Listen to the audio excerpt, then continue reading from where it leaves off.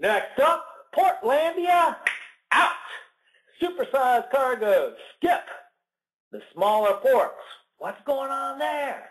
Well, you take a look at the exchange value to customers. You have the idea of what your alternative is. You add up the benefits. You subtract off whatever you're missing, and you come up with the exchange value. As long as you price below your exchange value, like stay there, people buy. That's the idea. Well, let's apply that concept to Portland, to the ports in Portland. You look, take a look at their alternative ports. You got Vancouver, you got Seattle, you got some alternative ports out there on the West Coast that kind of sets the price. The price is kind of set for uh, for unloading and loading a, a ship.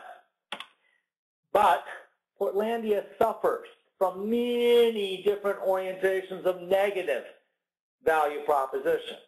They got a shallow interest.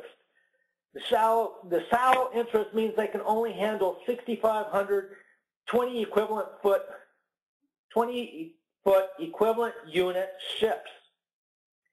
Now you look at the big super ships right now, they're holding 18,000 TEUs.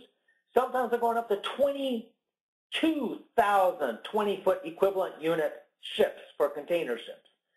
So the shallow interest immediately compresses the market that would want to use Portland. Compresses it so much that maybe nobody wants to use it. It has an inland location. It takes 100 miles to travel up to the Columbia River. That adds hours on the trip. And let's face it, time is money in shipping. Then we always have the perennial problem of uh, labor strikes and lack of reliability that raises fear, uncertainty, and doubt, known as the FUD factor, that decreases the willingness to pay by shipping companies. So you look at Portlandia, their pricing way up here, their value is way down there, and who? what happens? Portlandia, out.